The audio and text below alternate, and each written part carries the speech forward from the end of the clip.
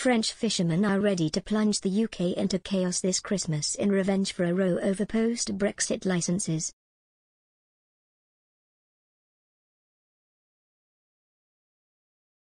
Olivier Leprêtre, chairman of the powerful Northern France Fisheries Committee, vowed to hit the British economy unless more vessels were issued licenses to operate in UK waters. He did not go into details as to how he was plotting to damage Britain, but he has previously threatened to block the port of Calais and the Channel Tunnel.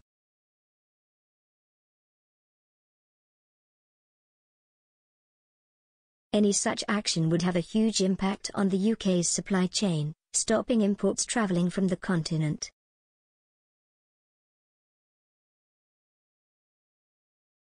It would likely slow down the time it takes for Christmas presents to arrive in Britain bringing misery to millions of families across the country on December 25.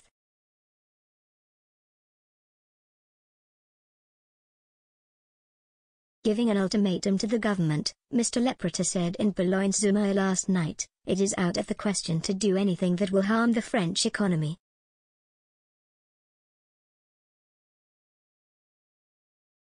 We will disrupt British interests.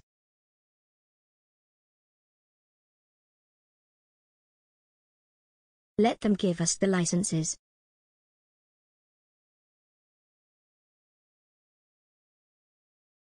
Otherwise, we will cut them off.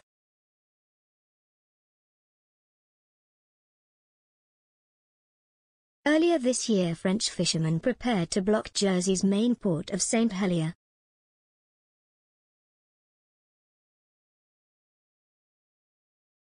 Similarly angry at the Channel Islands not issuing licenses, they threatened to block Jersey's main access to supplies.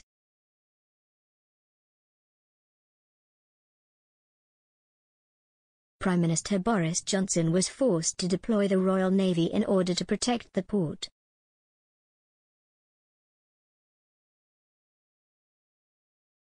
Under the terms of the EU Trade and Cooperation Agreement signed last year, European vessels which have historically accessed British waters must be issued fishing licenses to allow them to continue to do so.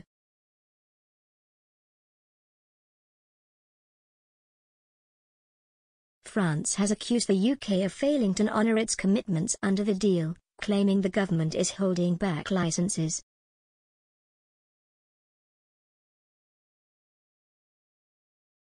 Britain says it has issued permits to all vessels which have provided the necessary paperwork.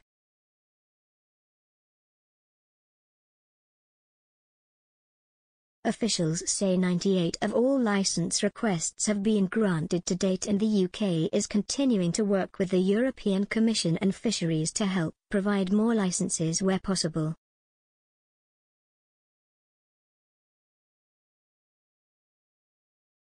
Last night France's Europe Minister Clement Beaune said Emmanuel Macron's government was still not at all satisfied with the number of licenses vessels had received.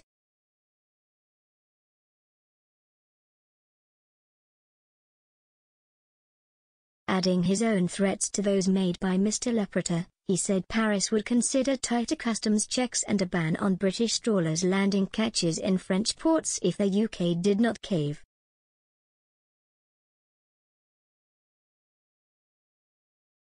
He said, we still have all options on the table, including these measures.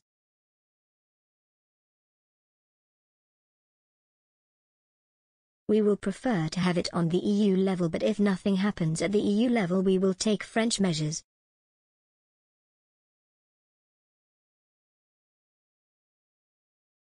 He added, if we want to work together on defense, and security, and foreign policy, and crises like the one we see in Belarus, or maybe in Ukraine, in the Balkans, which is a big concern for the UK as well, you need trust and to be true to your words.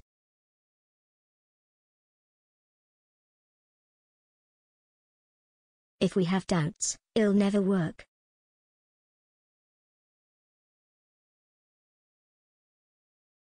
So I say to the UK again, this is in your best interest to settle this.